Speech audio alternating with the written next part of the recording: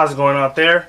Welcome from H2 Tech Videos. Today I want to show you uh, the, the Netflix interface on the Amazon Fire TV. And um, to, to get there, what we're going to do is we're going to go down. So we're on home. On left side in orange says home.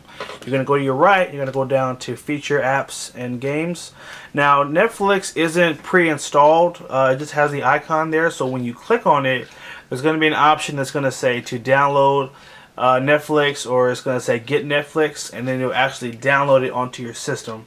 So you have to do that first which is really quick and when you're done then you'll be able to get right in. Fact right here where it says open this is where it's going to have you download. But you're going to click right there, it'll download it and then when it says open then you can click, you can open it up. And the first thing it'll actually ask you to do is to log in, email address and password which is your login information. And then here's our interface. Now this is uh, the interface is very similar to the PS3. Um, except on PS3 the option actually go all the way across the screen. So here on the right side we always have um, like the summaries of each show that you click on. So that's one thing that's different as well as we have the search option at the top. PS3 uh, don't think it does that either. But the cool thing is you do have access to your different user accounts, your profiles, so you can actually go up and switch to a different profile as well. So if, if you have multiple people that are using the same login, um, you can switch to each one and all your saved content is there.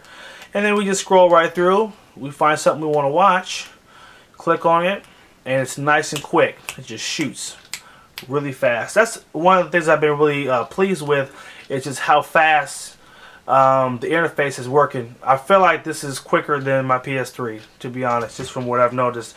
We also do have, our, I'm going to test out our search button to see if that works in here as well. We hold down on the, uh, the little mic at the top here. Kevin Hart.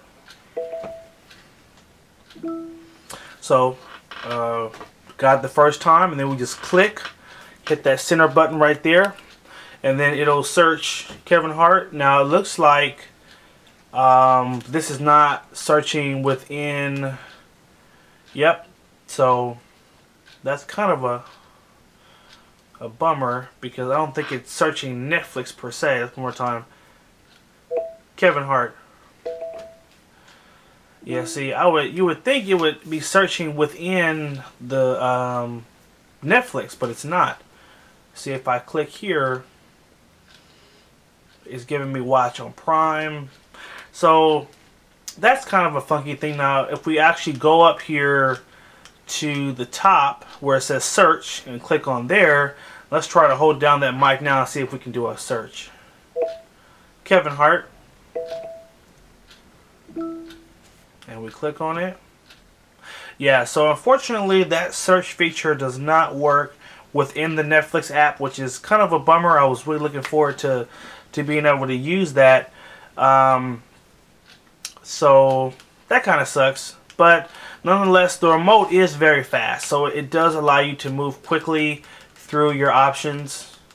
You know, and, and then so if you do want to just do a regular search for a title, you will go back to that search box and then you'll type you know, the letters as they go, and then where it pops up, you'll select it like that. So, anyway, this is the Netflix uh, profile or the Netflix uh, interface for Amazon Fire TV. Just kind of want to give you guys a first look at it so you can see what you're dealing with.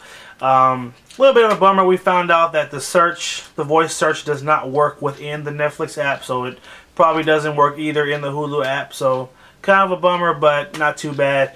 You know, it's still nice system, quick, fast, um, so, you know, not a lot of lag time. Alright, thanks for watching guys. Make sure you like, favorite, and share the video if you did find it helpful. Subscribe to H2 Tech Videos and like us on Facebook, facebook.com slash H2 Tech Videos. And have a good one.